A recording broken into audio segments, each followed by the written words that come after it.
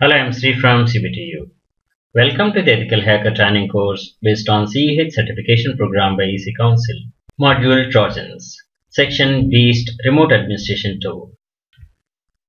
Beast is a Windows-based backdoor Trojan horse released first by its author Tataye in 2002.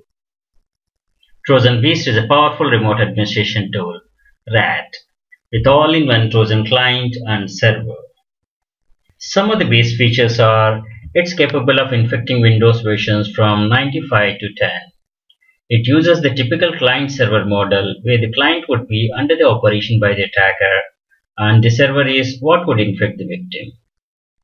Beast can create a reverse connection to its victims to give the attacker complete control over the infected computer.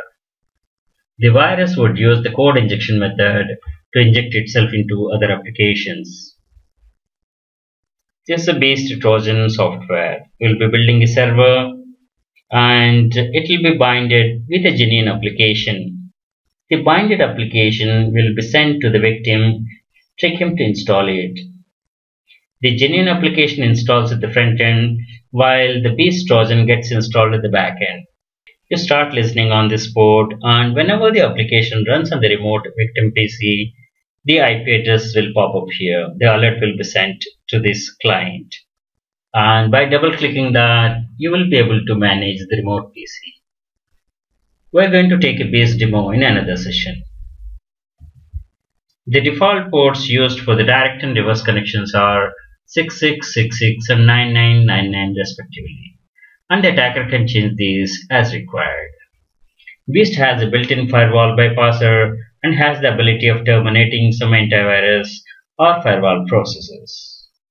Beast has a built-in file binder that can be used to join two or more files together into one executable. M-File Binder is an advanced file binder which binds multiple files of any type and merges them into a single executable file. It has the options to set the execution mode for each file which would run in the background and which would run in the foreground. Predefined set of icon package is included to set your desired icon. This is a genuine software, this is a Trojan horse. Both are packaged and delivered as a single package. Thanks for watching.